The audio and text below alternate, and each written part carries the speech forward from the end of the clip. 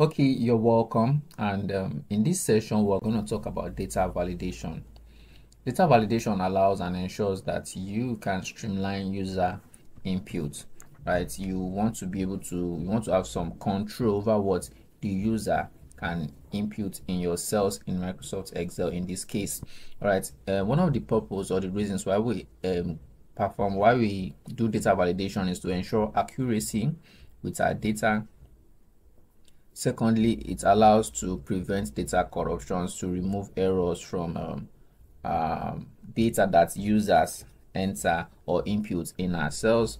And then finally, it improves or facilitates data analysis.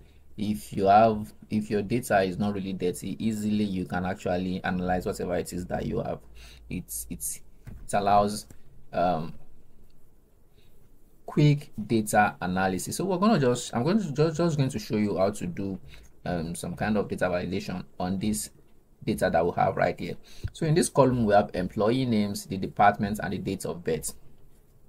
Now for the department, we want to, um, we have a list of departments. So I'm just going to list our departments here. So we have the HR department, we have the IT department, we have the sales department, and we have the accounting department right? We could have more in your organization no problem but for this class we're going to use this for departments. And so we want to be able to validate once we validate whatever um, is imputed in this column right here. So we're going to highlight all of these cells. That's where we want to perform our validation. Go to your data tab select data validation.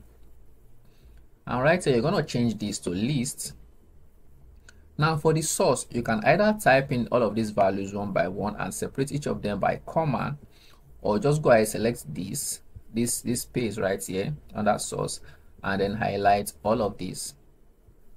And so you select OK.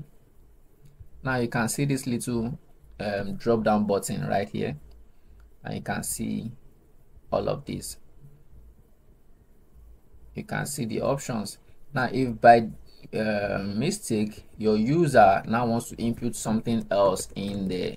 You get an error because it's no longer a valid data right? So um, data validation ensures or allows you um, to keep out those errors um, you can see it's applied to all the relevant cells that we highlighted. Now in this cell, you can see that we did not highlight it, so there is no data validation on this cell. Can you put anything and it goes through?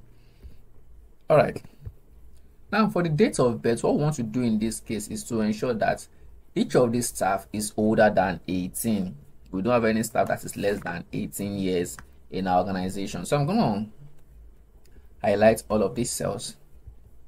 Go to data, data validation.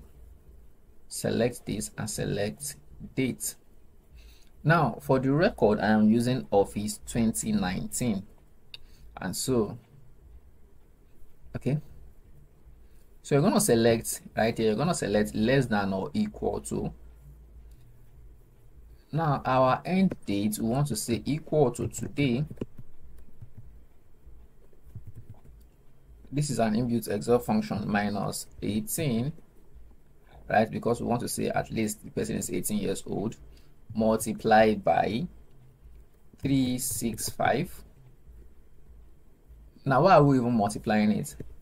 This date right here today the function contains date month and um, year. So but then we are just subtracting the year in this case. So we want to convert it to the total number of days in the year right? Um, so 18 um, by the year that's 365 days multiplied by um, the number of years. Now if you want to factor in leap year in your equation remember to add 0.25 if you don't want to factor the leap year in just leave it at 18 multiplied by 365 then you select ok